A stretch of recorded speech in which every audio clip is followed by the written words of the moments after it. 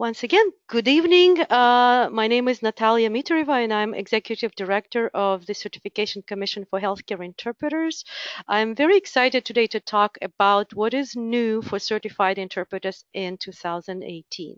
Uh, we'll talk about uh, how to renew this certification for CCHI, uh, what are the new uh, requirements that just came in effect in January. So lots of interesting things, and the way we'll work, uh, first I will talk about the new things, right? What is um, added to the requirements, and the good thing is the uh, parameters that we added or the criteria that we added are optional. So they're not mandatory, but we hope that they will encourage professional growth uh, across uh, the country. Uh, and then I will explain in detail uh, what we define as continuing education and what kind of topics is are accepted, uh, what topics qualify as um, performance-based topics, uh, where can you find uh, accredited uh,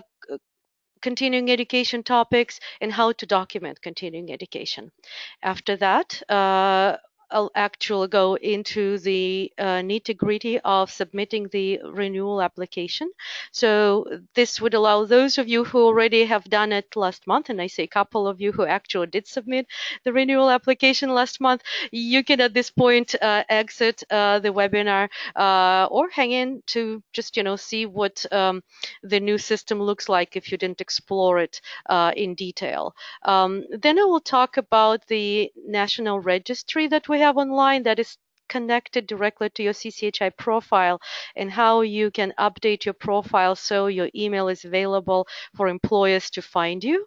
And uh, of course, as always, uh, I'll encourage you to stay engaged with CCHI. So that's what we're going to do for the next hour or so. And as you know me, I'll try to talk as fast as I can, uh, but um, there will be time for Q&As in the end. So one of the reasons why there are continuing education requirements uh, is because we want to encourage certified interpreters to grow professionally. And uh, as a certifying entity, we have an obligation to ensure that the skills that you had at the time you passed our certification exams and the knowledge at that time are maintained at the same level further down the road.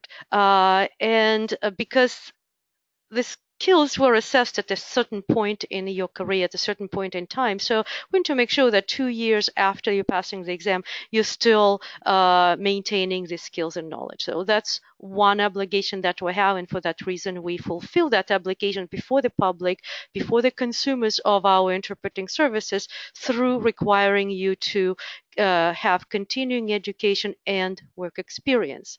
The other reason, of course, is obvious. Like any skill, uh, if you don't use it, you lose it. So without practice, skills deteriorate, and we want to make sure that does not happen because uh, if we say that you are uh, certified, that means that you're able to uh, engage those skills. Um, and lastly, as you know, uh, the exams for CoreCHI certification and CHI certifications are uh, targeted at the entry level. So there is always room to grow, and there are a lot of uh, new developments in the profession, especially in connection with technology. So those are the three main reasons why it is required for uh, we require you to have um, certain uh, to meet certain criteria before we renew your certification. So just reminder of basic facts. Your certification, whether it's CoreCHI or CHI, Spanish, Arabic, and Mandarin, is valid for four years. So, however, to make it uh, uh, easier and both on you and on us as reviewers. Uh, we uh, split this four years into two cycles but for four years to maintain your certification you need to complete a certain number of continuing education hours and work have some interpreting experience or work experience. And the work experience again is tied to the fact that we want you to use your skills uh, at a certain level. Uh, we track these uh, you, you meeting these requirements into two cycles years one and two and then years three and four. Well one of the reason is also we all realize that human nature is to wait till the last moment. So if we would say that you have to submit applications at year four, if you're like me, you will be doing it the night before the application is due, right? So to avoid that, to uh, really be responsible before the public, we split it so we kind of uh, force you to have it at least some of the uh, continuing education in years one and two, and then in years uh, three and four, making this deterioration of skills and knowledge less noticeable. Um, so what do we require for each two-year period? Uh, 16 hours of continuing education, and that's CE, that's what we abbreviate as. 20 hours of interpreting experience, or we call work experience. Um, the reason we don't always call it work experience because if you're volunteering, as an interpreter uh, for a patient and a provider, it also counts as your experience. So, but totally for four years, you need to submit two applications, which uh, will document 32 hours of continuing education and 40 hours of work experience. So let's talk about continuing uh, education uh, requirements first. The total for two years, as I said, is 16 hours. Out of these 16 hours, at least two hours must be in performance-based topics, and these two hours are required. Uh, again, the reason here is because we want to uh, make sure that the skills are maintained. I noticed that a couple of you lo lo lose the audio connection. If this happens, try to call in via the phone and connect that way. Uh, we will and I will explain in detail what performance-based topics are in a second, in a minute. Then and this is the new thing for this year, is that out of these 16 hours, a maximum of four, up to four hours, may be earned as non-instructional continuing education activities. So these four hours are optional. You don't have to have it off, uh, uh, but uh, if you are engaged professionally, you can use your professional engagement as part of your uh, continuing meeting your continuing education requirement. So let's talk about this new concept. First of all, why do we introduce it? Well, as we mature as a profession. We realize that now we have, through CCHI at least, uh, over 3,300 certified interpreters. This is a serious force, and we want the voice of the certified interpreters of you to be heard, and we want you to influence our profession via engagement in professional associations, We are developing new standards or uh, or promoting certain important issues for our profession uh, because you have taken the step to get certified. You invested in your career, in your profession. You deserve to influence it directly. And um, as anyone, we know our lives are full of priorities, competing priorities. So we eh, think if we encourage you and reward you for joining an association, for volunteering for an association, for becoming a board member of that association, then we'll see more and more engagement in the profession and then we will soon see the majority of the professionals uh, engaged directly in its policies and decision making to be certified interpreters because that's how it should be. Uh, we i'm not uh, an idealist. I realize that there's still more non-certified interpreters working in this country every day than certified because 3,300 certified CCHI interpreters is just a drop in the sea, but we need to start somewhere and we can be more successful if you get active. So we define non-instructional activities as activities that support our profession, healthcare interpreting profession through volunteerism, leadership, and research. An important thing is the healthcare interpreting profession because ultimately uh, the goal of every profession uh, is to be recognized by you know as legally by the Department of Labor, right? And right now, when you look at different statistical reports, you see uh, language professionals combined there, interpreters and translators. So the more we're active as healthcare interpreters, the more there are chances for the Department of Labor of listing us as a profession, like nurses are listed as a profession, right? EMTs are listed as a profession. They're not bunched together as allied health. They do have separation. So it's important that we achieve the same status through our activities.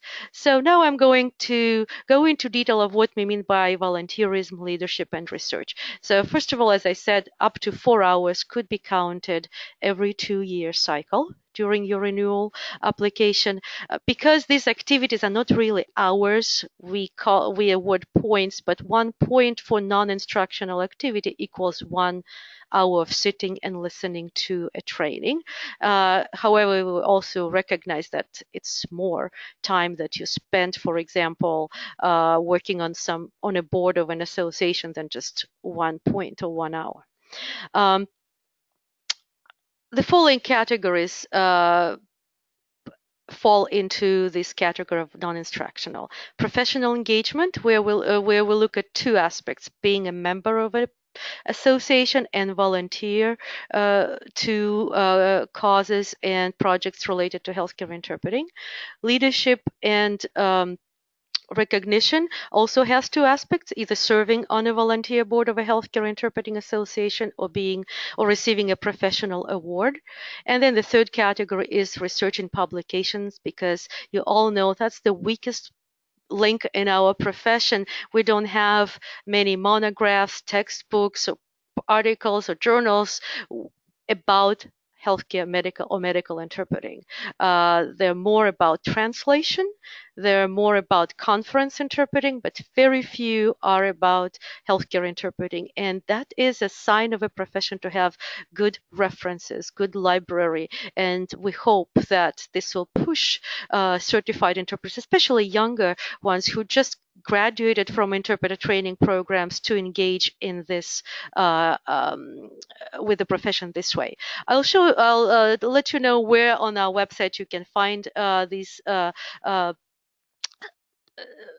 explanation of all this, but let me just go more in details about each specific category. So when we talk about membership in association, we uh, refer to an association which is uh, Healthcare Interpreters Association or an association where healthcare interpreters rep are represented at a significant as a significant segment. And if you're a member, you earn 0.5 points per year and maximum within two uh, years you can earn two points so again first of all what association right there are many of them like california healthcare interpreters association or um, uh, TAHIT, which is a Texas Association of Healthcare Interpreters and Translators, and you hear here the first time the translators part, right? But uh, they equally represent healthcare interpreting. There are ATA uh, chapters and ATA itself, American Translators Association, has interpreters division and medical division. So membership in those associations also counts. Um, National Council on Interpreting Healthcare. In healthcare, obviously, even in its name and its mission, has healthcare interpreters at its core. Um, IMIA, International Medical Interpreters Association, even though they're called international, we all know that the uh, significant or most of the membership is represented by the United States interpreters. So, and we have a list on our website of examples. If you're not sure, email us. We'll clarify if uh, this association that you belong to can count, if membership in it can count towards your renewal. Now, how do you count the points? Well, as I said, it's uh, half a point for a year. So for two years, if you're a member, let's say, of CHIA, you get one point, right? But if you're a member of CHIA in a national council, then you earn two points for two years. But if you also add in a membership in some uh, trans ATA, for example, that becomes three associations, you won't earn more than two points because uh, we recognize uh, that you know we want you to diversify your talents and do other things uh, beyond membership because membership is a very serious support of the profession but more in a passive way so for that reason that's kind of the lowest amount of points we're awarding the next uh, aspect of professional engagement is actually volunteering. And here you will be earning one point per year with a maximum of four points. Uh, the points are awarded for activities that support and promote the profession uh, through volunteering for different uh, projects, conferences, or courses like creating a registry of a sorts, right? But uh, we do not uh, count, uh, we do not award points for just uh, volunteer activities that do not relate to our profession, right? We all have other volunteering courses. Uh, if they're outside healthcare interpreting, they do not apply. Uh, again, they're awarded per year, and you can earn all five, po four points in two years for being a volunteer. Um, now here we have an example and uh, the same uh, table is uh, available on our website uh, specifying that uh, some activities get more points than others. If you volunteer at a conference and then over healthcare interpreters uh, or educational event, it could be a workshop or a professional um, network event uh, where there is an educational component. So then you earn one point volunteer for volunteering there. Uh, if you do public speaking about the profession, let's say you're a certified interpreter, but you also are a parent, you go to your kid's school and in the eighth grade talk to them how cool it is to be a medical interpreter. Uh, you also earn one point for that because uh, as our national survey in 2016 showed, our profession is aging. We have fewer younger people entering our profession, so we want to encourage you to talk about uh, the beauty of being a medical interpreter. Uh, then volunteer the charitable medical missions. Um, in other words, when you perform unpaid work for medical mission outside the United States, uh, you get two points. Uh, the reason here is usually if you're going on a mission, it's like Doctors Without Borders, etc. Uh, you have to prepare specifically for the subject matter of that mission. You know, study terminology. You have to uh, prepare and have the um, uh, know how the group would be working and you have to go through the cultural orientation for the depending on which country you're going to. So you need to know how to uh, interact with the uh, patients in that country. So in other words you're getting education for which usually before you leave the united states for which usually you don't get any certificates. So that's part of preparation for the mission, we want to recognize and give you this at least two points uh, for uh, participating in that. It's not for the work of you actually interpreting. It's for all that training that goes before it. Volunteer for a project of a professional organization um, you know, which is association, uh, as we just discussed. Uh, what here I mean, uh, what I mean here uh, is um, when eh, CCHI is looking, for example, for subject matter experts to develop the exam. They are all volunteers, right? Yet they spend hours and hours of uh, helping us do that.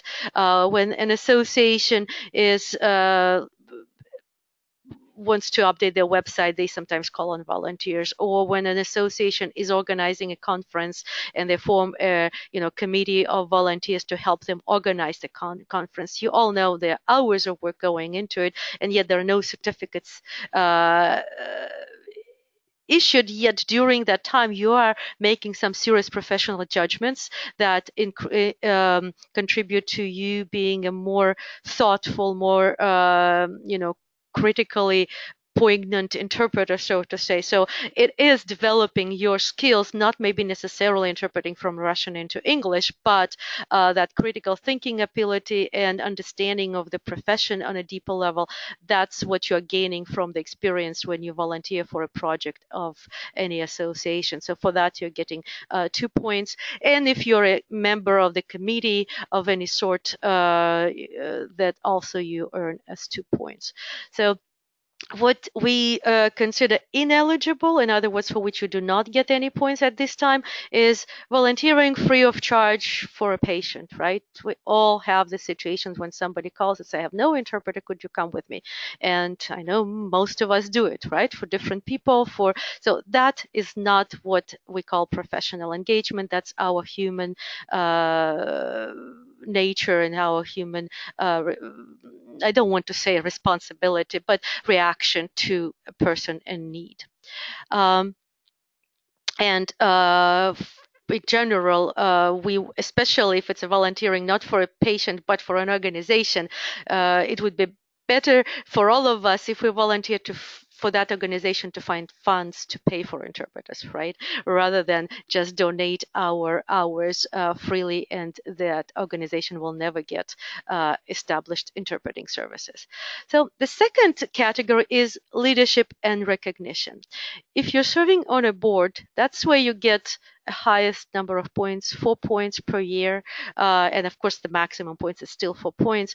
Because um, if any of you, and I see a couple of names that I know you're on the board right now of an association, you know how much work it is. Uh, and so we uh, feel that that's uh, where your uh, professional um, integrity, your professional expertise is coming to shine when you are uh, joining the board. And we encourage you to, uh, whenever there is a public call for joining a board, please apply because uh, I personally, that's how I became first on the board of CCHI. I just applied through a public online process and got selected. Believe me, I was ecstatic. And I never knew that I will uh, get to be actually the uh, director, executive director of CCHI.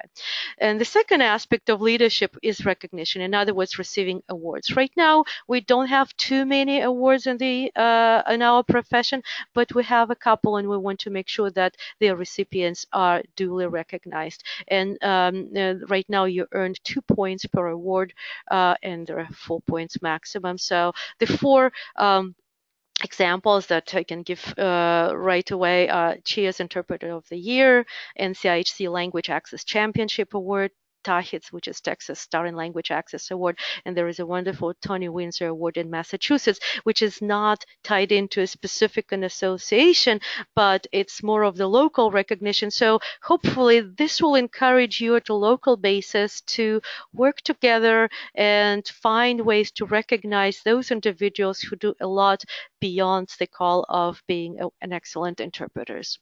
Um, and points uh, that are awarded through these um, activities uh, are counting as, as I said earlier, as your hours. Research and publications, uh, here we have different points and different hours depending on the activity. So please again pay attention to which activity gains how many much points. If you are a co-author, you get half a point. In other words, each of you gets half. Uh, if uh, the content must be research-based and educational, and why uh, that's why we specify what is ineligible. If it is work for marketing purposes, right? Uh, just let's say promoting uh, even in this case like the article if uh, if i uh, the, the, i wrote for our newsletter cchi's newsletter about these uh, requirements. That's not a research so that will not uh, make me eligible to submit that in my application. It has to be research or education. Uh, presentation slides won't doesn't count as a publication. Website comments, blogs, wiki entries, letters to the editor, any opinion-based articles, or anything that is unedited and not reviewed online.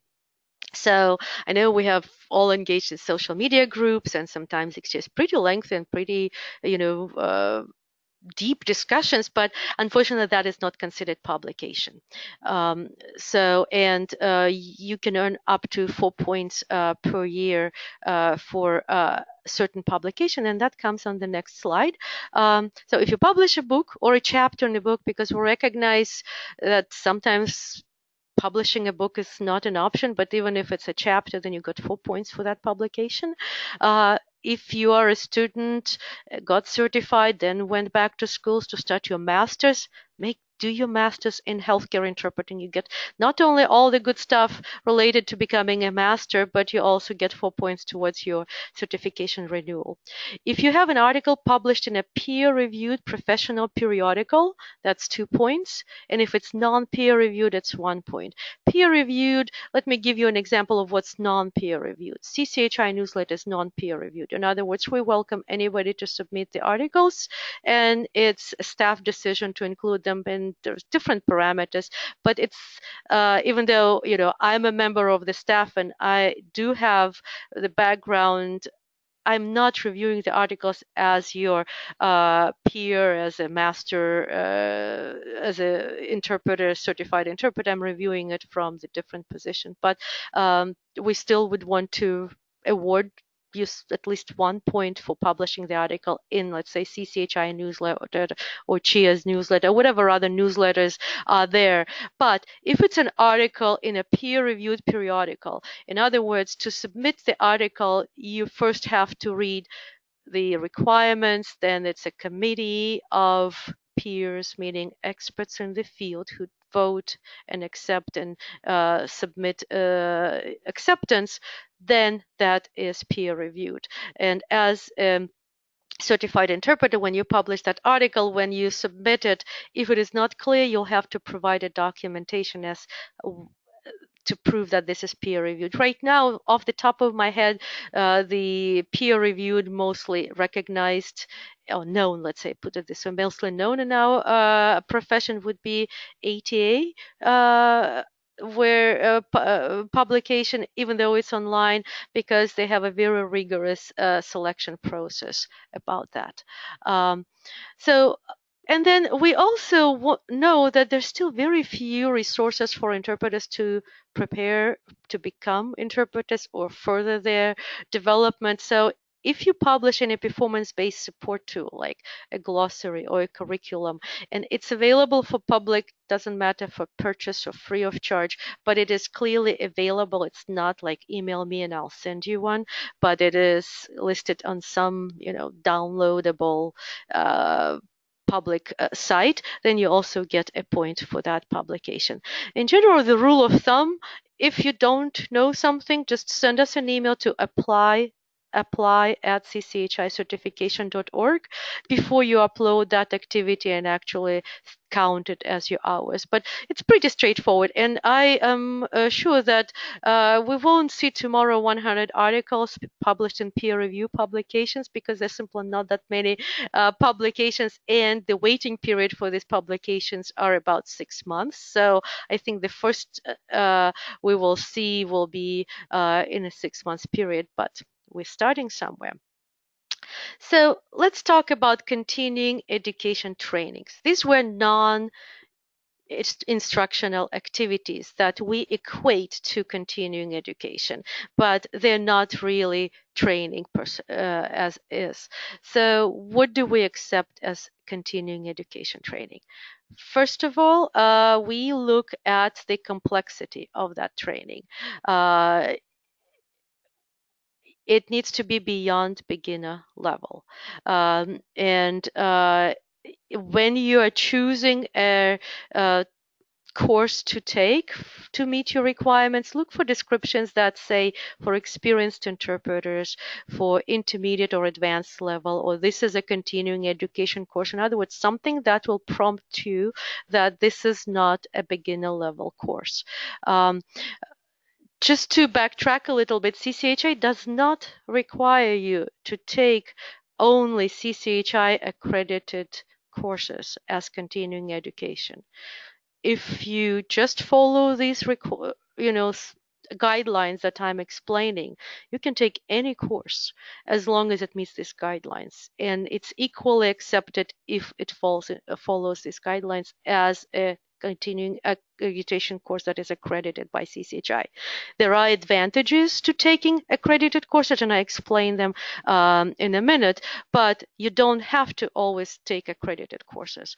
So what should you avoid? Uh, what would be a giveaway that this is not a begin this is a beginner level, and in other words, that's something we will not accept if there is description as basic 101 or prepare for your certificate to prepare you for certification a level one.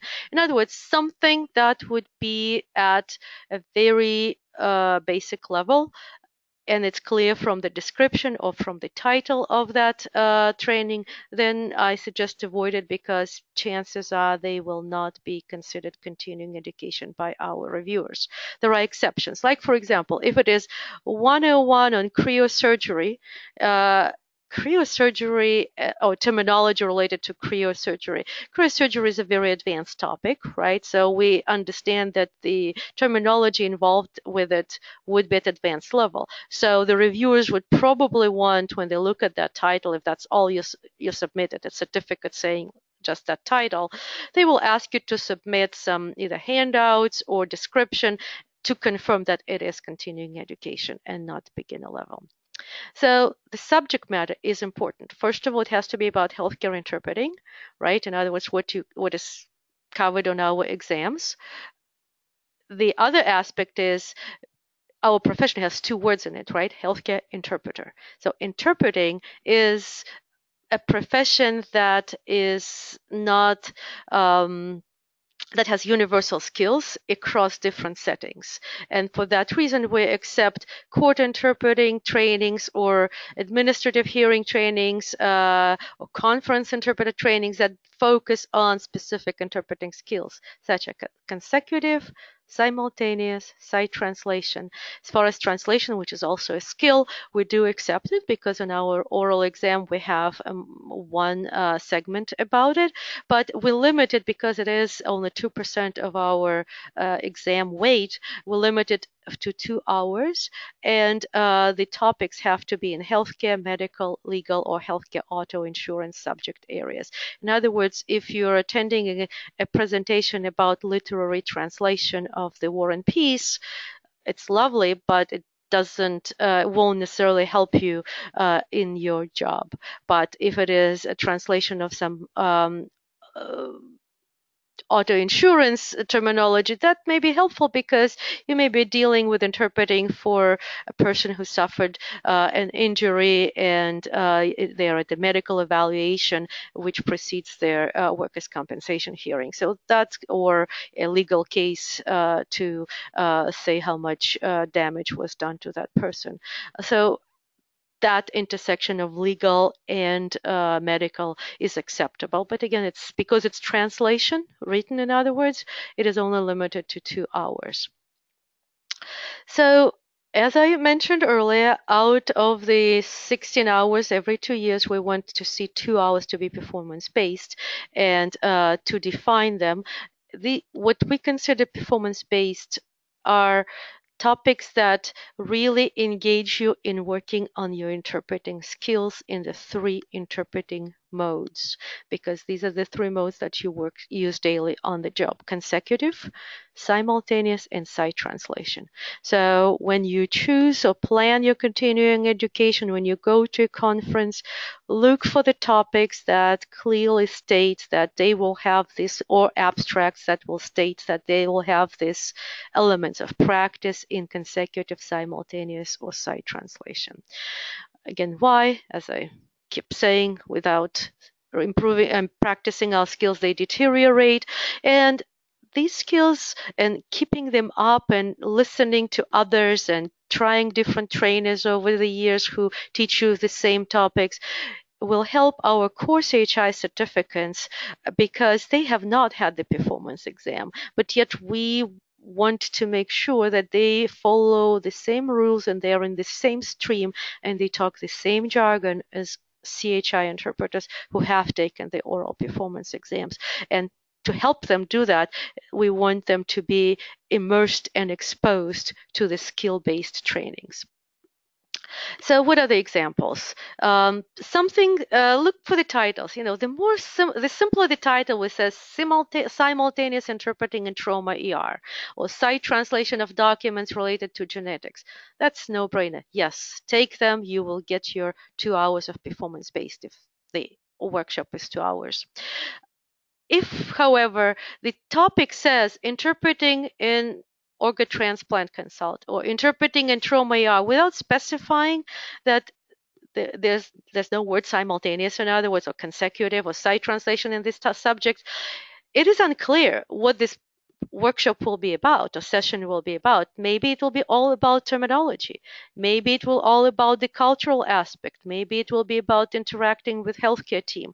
So because it is unclear, uh, you run the chances that it will may not be accepted. Uh, however, I'm not saying never. If you will supply a detailed abstract and breakdown, and it will be clear that with the agenda that from this time to this time you actually had consecutive interpreting practice in uh, about organ transplant consult, then it would be accepted. So uh, it's a little harder to make that call when you are, you know, trying to attend that event. Um, so on our end, when we work with trainers, we encourage them to make their titles more explicit and their descriptions again more explicit so that they clarify. Let's say there is a three-hour workshop. Out of that, one hour will be about terminology, but two hours will be about about practicing that terminology through consecutive and simultaneous mode. Then you get your two hours of performance based in that workshop or whichever way the hours split. Uh, so we're working on our end with trainers, but you also, if you would request trainers more to be that specific, I think we'll see the results and it will be easier for all of us to decide whether uh, this training qualifies as performance based or not. We also now understand, since not everybody lives in uh, a state where continuing education is readily available, but yet everybody by now has either a smartphone or a tablet or a laptop, or their kids have them, right? Uh, so we offer uh, about six hours of continuing education performance based training via our free webinars every year, um, where uh, usually they happen starting in the second half of the year. That's the nature of how the workflow goes within the organization. So uh, we will try to do one at the end of spring and then end of summer and then the fall is uh, the time when we get more continuing education webinars. Um, we're not a training entity, so we don't actually develop uh, the, these trainings themselves. What we do is we invite trainers, and uh, yes, I am also sometimes invited because in my previous life and by trade, I am a trainer and instructor, and I worked both in Russia at a university, in the United States at uh, a university. So it is still my passion. And when I am doing the training, uh, webinar trainings of continuing education nature for CCHI, I am a guest presenter too. Kind of, you know, like all of us wearing different hats here. So with that said, let's talk about conferences, especially that now with spring, we have a wonderful uh, slate of conferences approaching. The first one is CHIA on March 2nd in California, and then there are many, many more this year than last year, even. So we as a rule, don't approve whole conferences. And what I mean by as a rule is Many conferences nowadays have several parallel tracks, right? You have a track for this, a track for that. So, uh, in other words, you're not in the same room for six hours. And for that reason, we don't approve the whole conference. Unless, and this year we actually do have a couple of conferences which is which are just one track. Everybody is in the same room. Nobody makes any choices. They listen to the program and that conference does have six hour uh, approved. But as a rule we approve individual sessions uh, based on the criteria I just described, their topic and their level of difficulty. Uh, and it is important when you go to a conference, first of all, you look in the program to see what you think will be continuing education for you and what would be what or if the conference is accredited which sessions you need to go to and when you're in the session get documentation that you attended that session different conferences handle this differently. Some conferences give you kind of a blank uh, sheet which lists all accredited sessions and all you need is just collect either a signature of presenter or uh, a code that is given away by the presenter at the end of that session. Other conferences give you a different document that you do. Others require you to scan uh, something. So multiple ways of doing it. Bottom line, if you have a program, if they if the conference doesn't give out printout uh, program, print it out yourself before you go, and on that program highlight the sessions you want to go to, put your name on top, and at the end of the session go to the presenter and have them sign it. This way, that's your plan B, right? Plan A, conference organizers will take care of you. Plan B, you will take care of yourself if for any reason that doesn't work out. And then you'll have the documentation. Uh, we also do have, and I'll talk about documents in, uh, at the end, is a template online. You can feel free to download and print those out, but those are a little easier to forget at home than a conference program.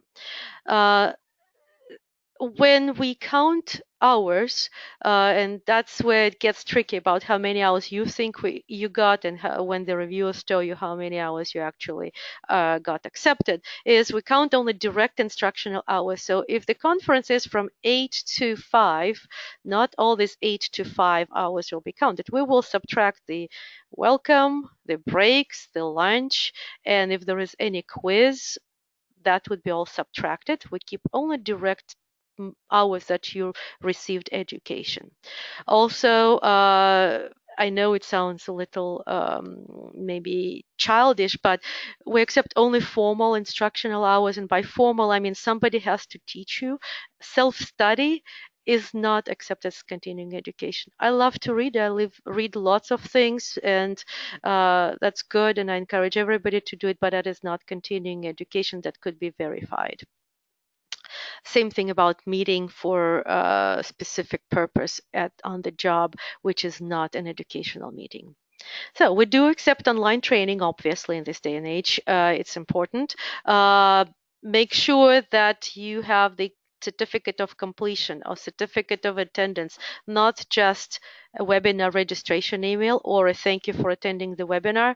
That does not qualify as a verification document because you can may register and never attend, or you may turn on webinar, something happened, you left it on and did your job. So again, certificate of completing uh, or attending a webinar from the webinar organizers or in any online module there has to be at the end a certificate giving uh, recognizing your um, uh, participation.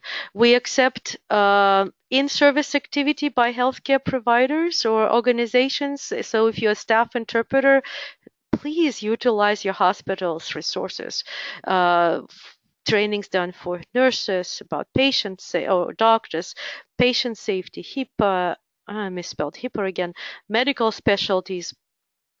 All that is helpful because that makes us closer members of medical team. They see you more often uh, at their own trainings, and that uh, also contributes to your development development as an interpreter.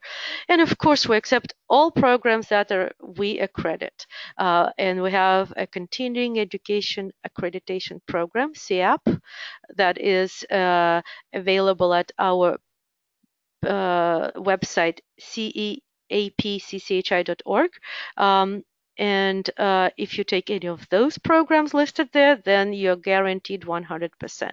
So back to that comment that I made earlier that we don't require you to take only CEAP accredited programs, but they give you the assurance that you don't have to worry whether how many hours or whether it's accepted or not. Uh, so it's just smoother and easier, but you don't have to do them.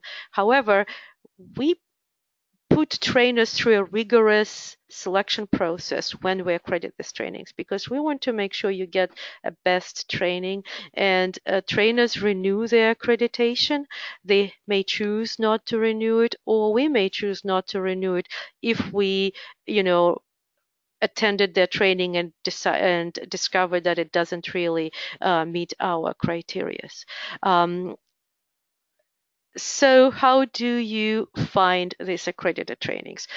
If you go to our website, cchicertification.org, on any page, there is this on the right, there is this panel with many different wonderful announcements. But the third button from the top is called Find an Accredited Continuing Education Program.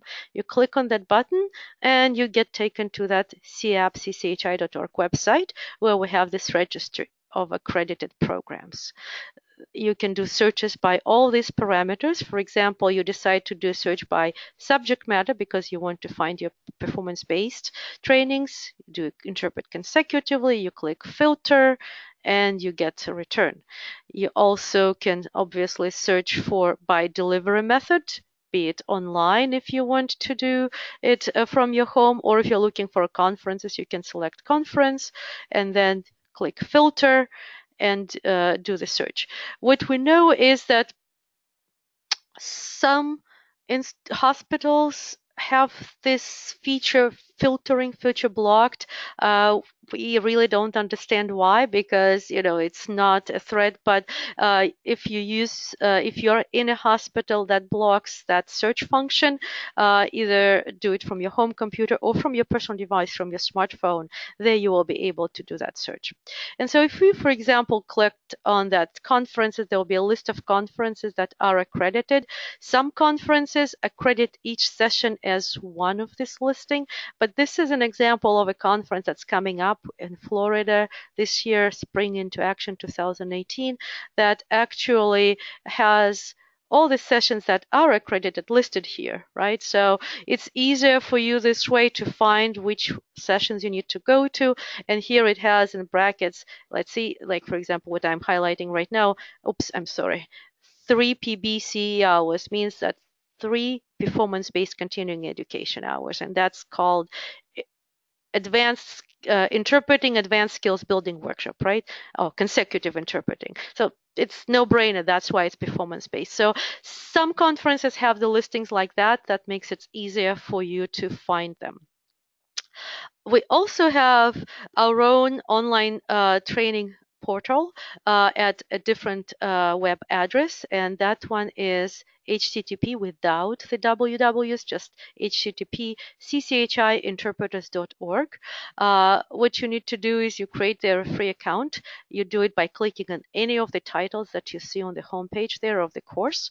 Uh, then please remember your username and password. Write it down because it's amazing how many times a day we get requests. Oh, I forgot my password and what it happens is they actually forgot what username they created. Either use your email address or your first name or last name, whichever is something easier. Don't get too creative because then you'll forget it or write it down. This is, you're not putting any credit card numbers here. It's okay if somebody will see your uh, login info. I'm joking, but seriously, uh, remember your username because it is different than the username to your CCHI profile. These are different websites. They don't uh, talk to each other.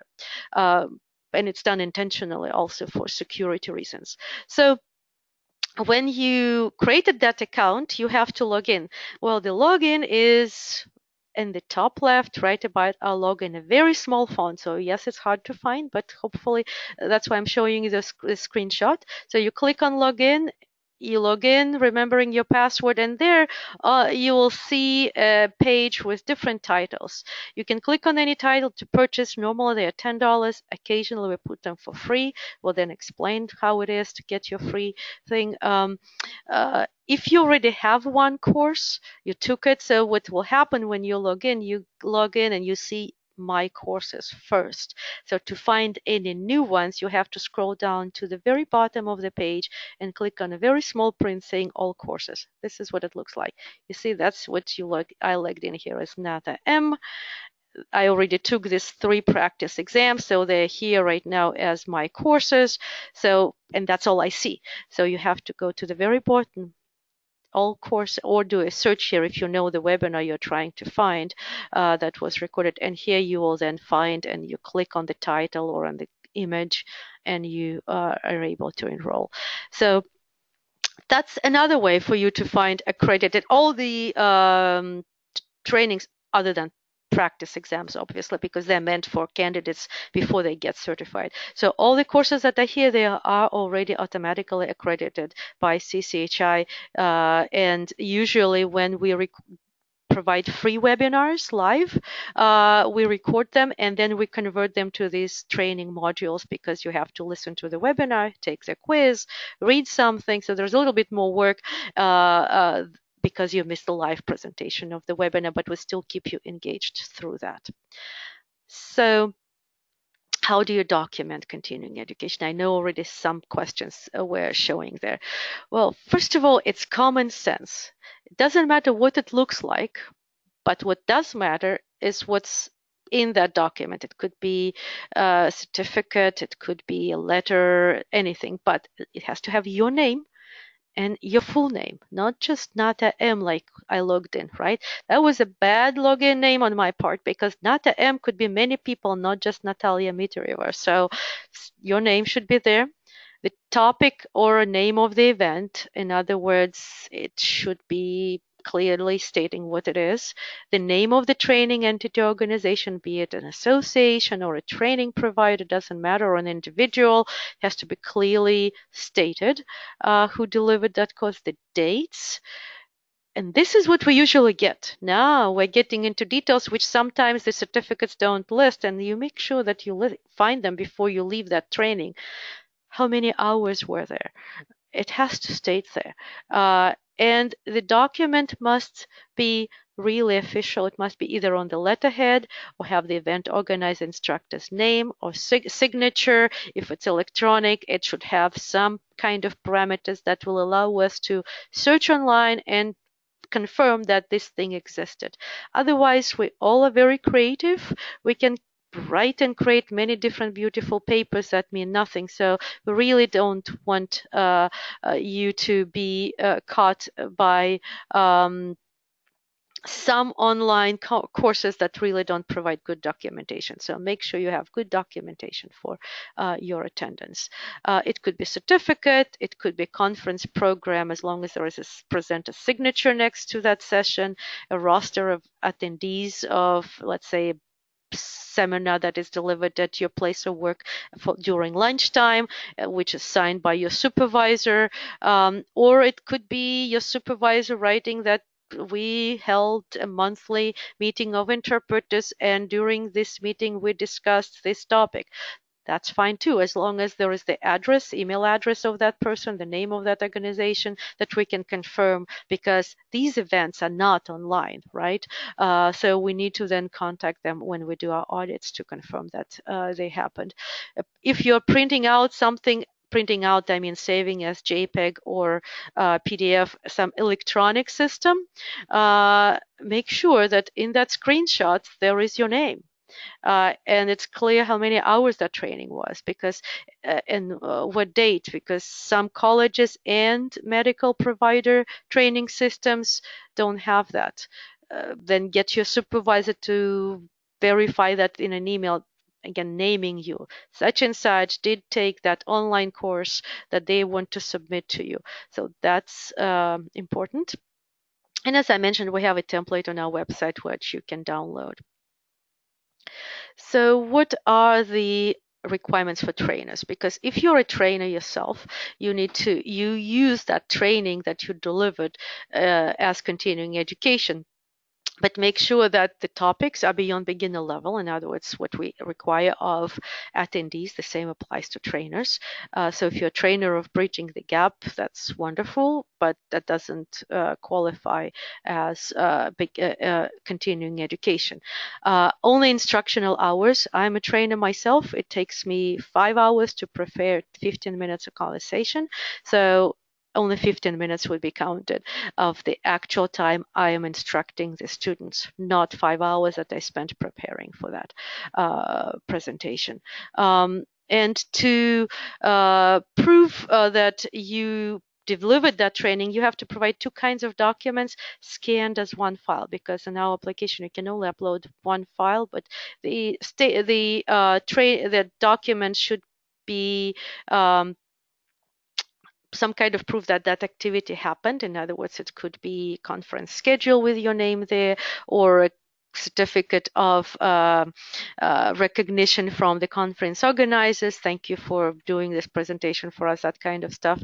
Um, and then proof of your training experience, because uh, we want to make sure that trainers uh, who are getting continuing education from us actually are qualified to be trainers, right?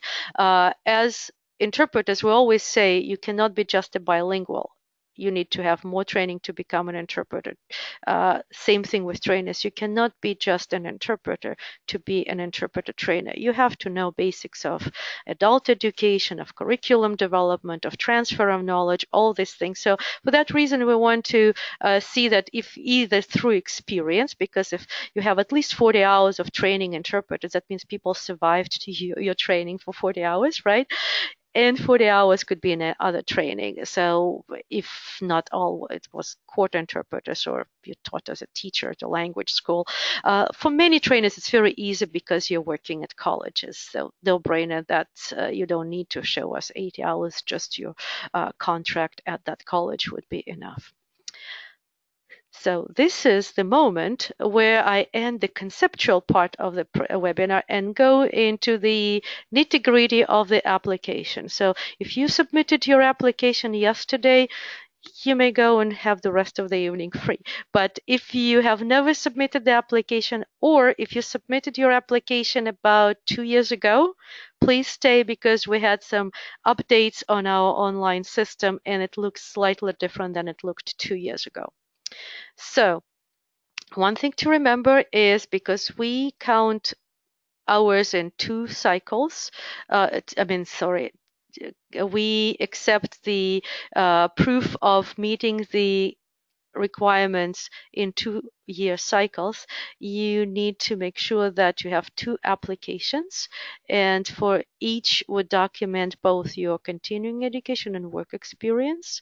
Um, each application must be submitted online. We do not accept any paper applications. I'm sorry, went direction. Each application costs $150 and you may submit these applications either consecutively or simultaneously, right? Consecutively means at year two, you submit your application and pay $150. At year four, you submit your second application, pay another $150. If you want to do it simultaneously, you're waiting till year four and then you submit both of them and pay $300 quick checklists before you start the application. Make sure you have on hand PDFs or JPEGs of documents that prove that you have, for each application, for each of two years, 20 hours of work, two hours of performance based training, and 14 hours of other continuing education training. And as I explained this in the beginning, out of these 14 hours, four could be non instructional, and then 10 could be instructional. Uh, but in other than performance based.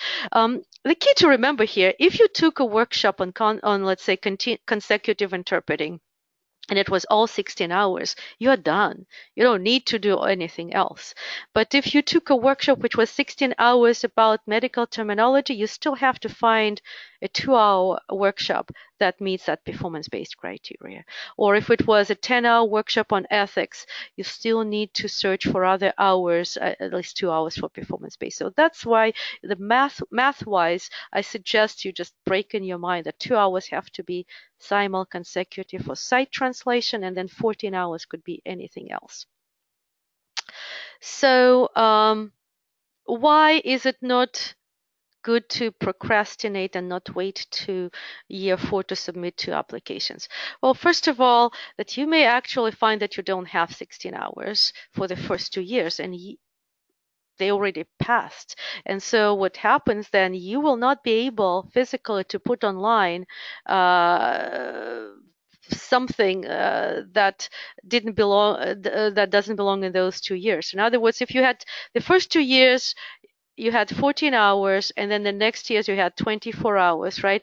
That won't allow the system won't allow you to count all together. No you have to have 16 hours in the years 1 and 2 and 16 hours in the years 2 3 and 4 the other thing is you when the reviewers review your first application for years 1 and 2 if they find that you don't have enough hours, or if you thought that these two hours are performance based, but they actually are knowledge based, um, and you appealed and everything, but the decision still stand stood, then you will be given a grace period to complete it because you're still validly certified till year four, right? So you still have that time to add up and then you will finish that year uh, to uh, mark. However, if you wait till year four and this happens, you cannot get a grace period for what happened two years ago. So that's why we encourage you to submit applications consecutively. Um, documentation, really, whenever you take a course or do a, non-instructional activity, as soon as it's completed and you get a documentation, log into your CCHI account profile and upload it right there. Then if you lose your paper, it is there saved and you don't need to do anything. Then at the time when you need to you know actually pay for the application you have everything there and it'll take you five minutes five seconds or five minutes to review and submit it. So do it as it happens. You're at a conference you're done with the session. At lunchtime take a picture with your smartphone and on the smartphone upload it to that application. You can access it uh, now um, the with the new upgrade that uh, section of our um, portal, that application site is fully mobile friendly, so you can just upload it directly, uh, work with it directly on your home on your phone. Um, same thing with the work hours. If you're a staff interpreter, that's easy. But if you're a contract interpreter in a language of lesser diffusion, as soon as you hit your first 20 hours and you have documentation, we don't require you to upload that documentation, but take a picture of it, save it somewhere safe, and then check that mark on your application so you don't have to worry about it later.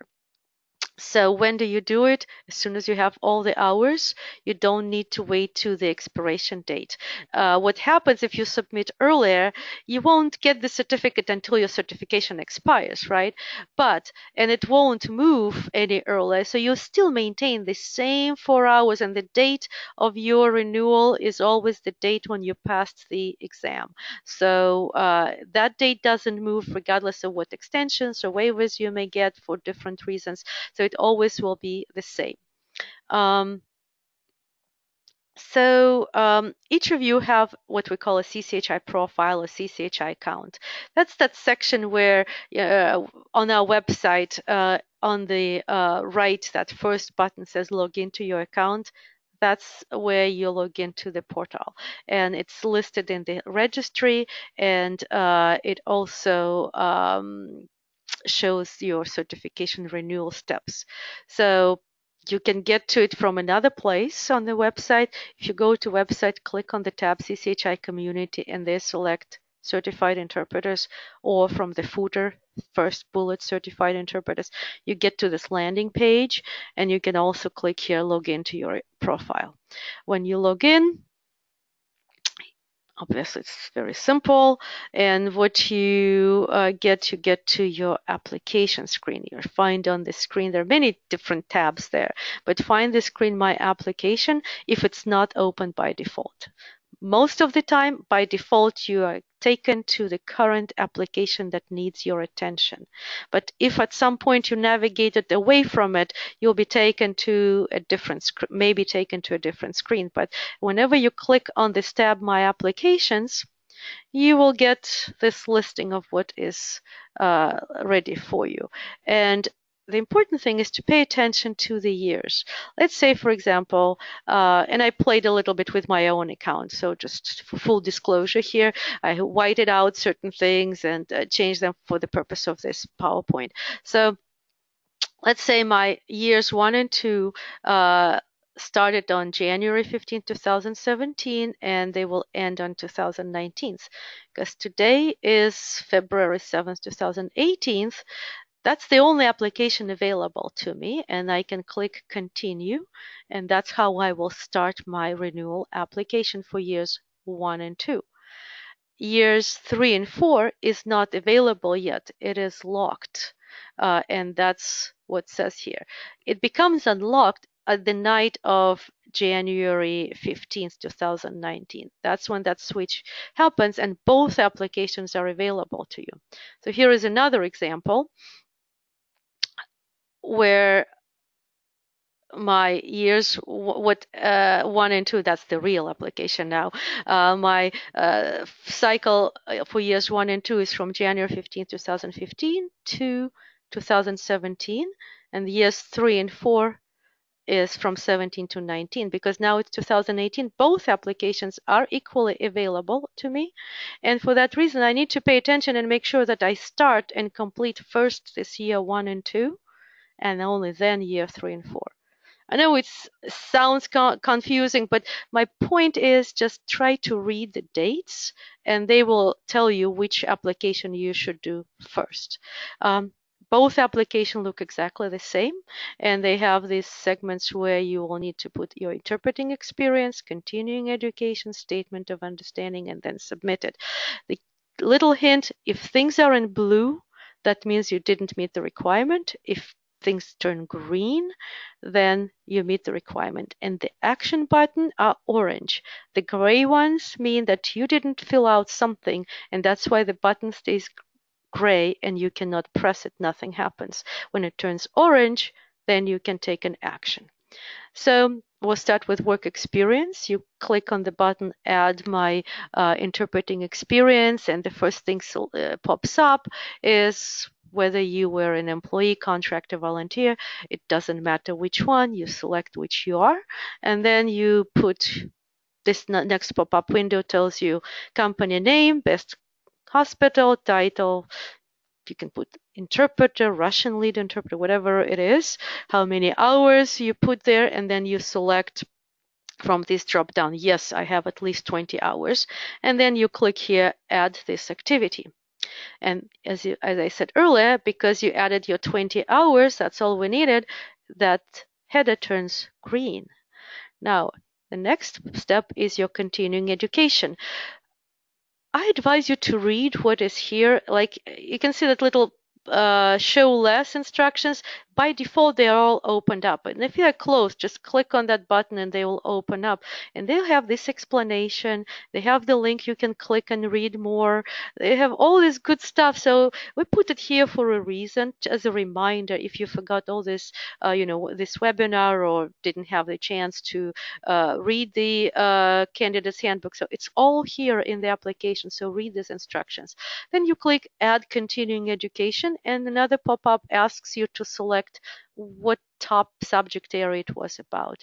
Don't worry about it too much because uh, I know there are many trainings which are everything or intersect to have two things there. Can click just other. That's why it's there for a reason if it is not a straightforward uh, selection. And then there is a very detailed, again, with some instructions above it, um, uh, application which puts your name right here is ethical dilemmas in pediatrics. Is this performance based training? This is what's important. That's how we track your two hours that's required. You choose yes or no depending on what it is. Then the name of the organization or, inst- or instructor like in this case i put ata is it pre-approved? I put yes.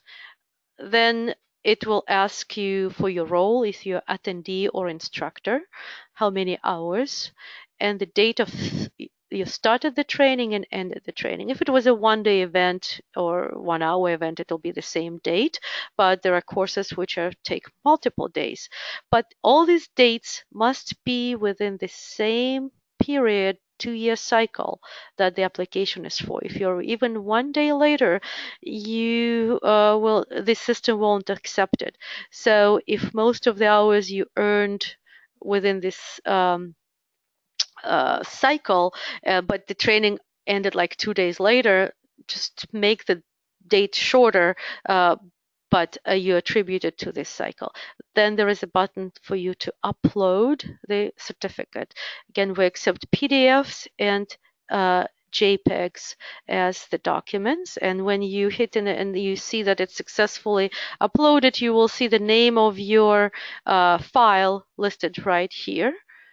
And then uh, you click uh, submit and that gets attributed. The next section is statement of understanding. When you click review,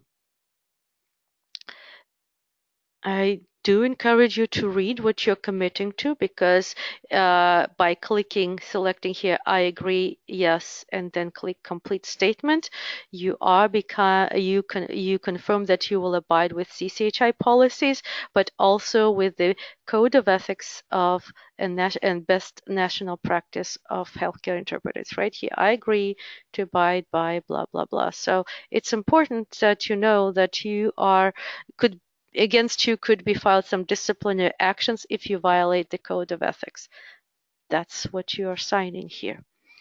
And because you completed it, it also turns green. And the last thing is to submit. And you see it's gray. It means that something didn't get filled out. What is it? You need to go above and see what happened.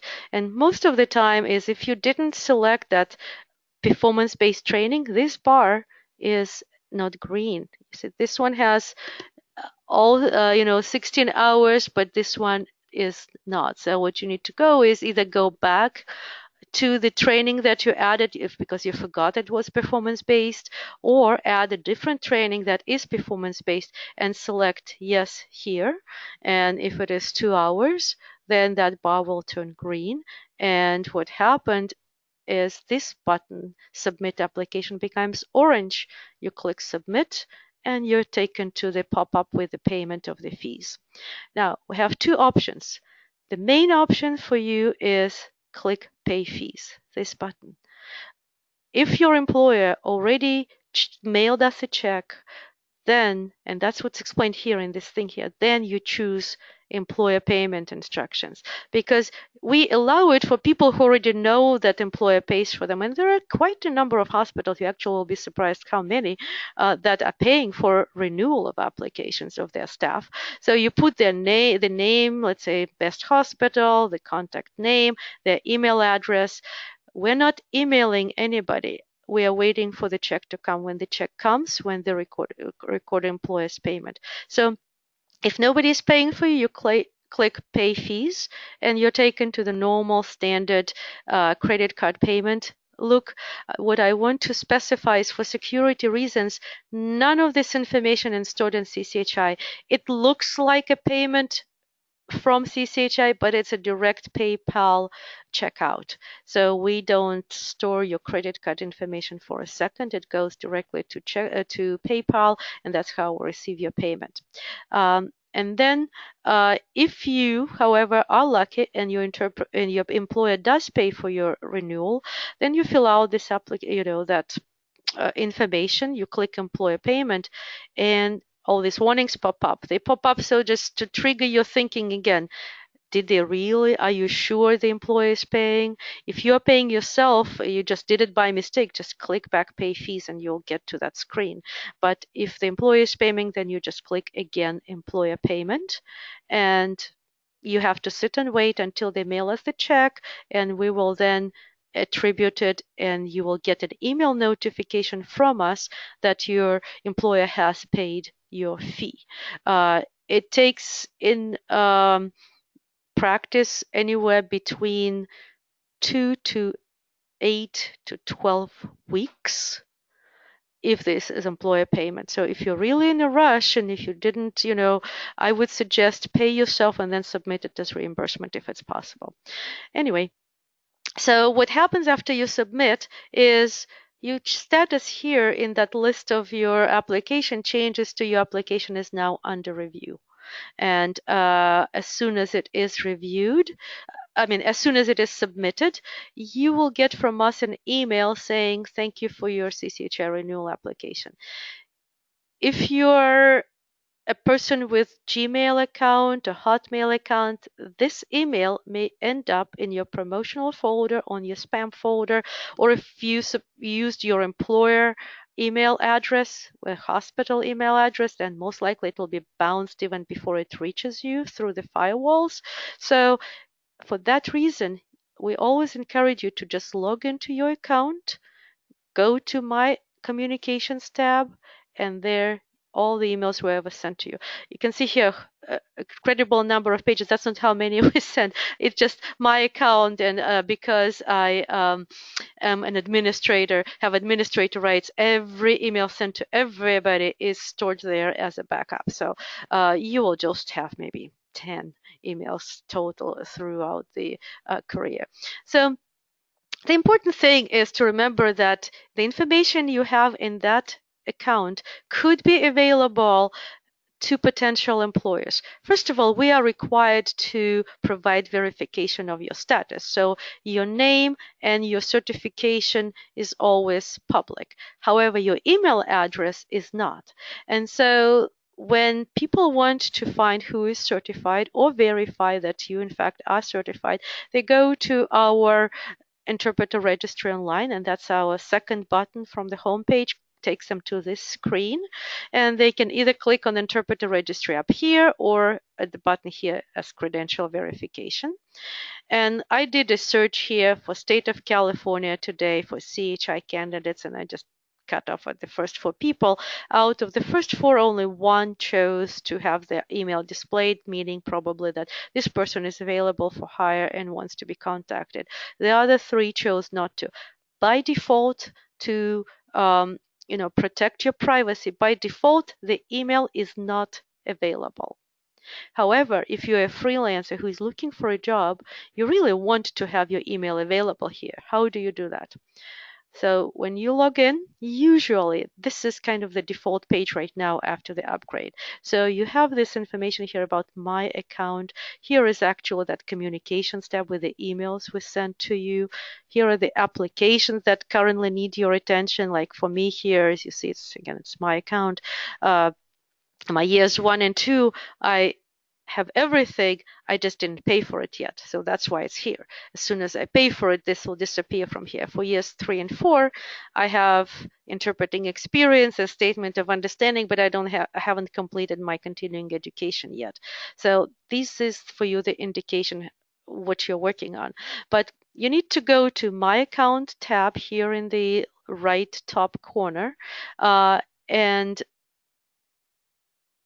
it when you click there it takes you to your profile thing. You look you can see different things here. I blocked out some for obvious reasons but what you're looking for is your status. And this is the icon that shows that you can edit your status. Some things you cannot edit. For example your name. If you have a name change you have to email us at apply at cchicertification.org and with the documentation like new marriage uh, certificate or divorce certificate or any other kind of name change and then we will change it for you. Because again it's our public responsibility to verify your identity as a certified interpreter so you cannot change your name. But you can change your status as far as what shows in the uh, registry. So this is the edit icon with a little pencil here. And in uh, this um, uh, section, you need to make sure that you check this make contact available and then you click save and that's how your email is displayed in our registry. You also can change other things like your phone number if it changed or add a second phone number, email address. Again, we have your primary email address is the one you created the first application and before you got certified, right? But if you want to change it, you can, or you can add a second email address. I strongly encourage you to have your in personal email address as your primary one, not your employer ones. Because believe me, we do change jobs and you don't want to lose contact with us because all the notifications go to your primary email, not to your secondary email. And you can change your home address too. Um, and here you can also check when is your dates for expiration of your certification. Um, and before I go to questions, I want to remind you that we want to engage uh, with us on our social media from our website. Click on uh, these social media icons. We also have an Instagram account which has the handle CCHI Certify. So follow us, see all our announcements. Uh, you can subscribe to our newsletter if you click subscribe here at the footer or from Stay Informed, click on the subscribe action. And you also, this is from the same tab, you can find the webinars when you uh, click on Stay Informed. You get to the page which allows you to see what are the upcoming webinars. Um, a couple, of, I mean, an email I want to share with you is of our uh, Operate, Director of Operations, Malika Sadi Goodman, uh, who uh, oversees review of uh, renewal applications and original applications as well. So uh, feel free to contact her directly at CMS Specialist at cchicertification.org.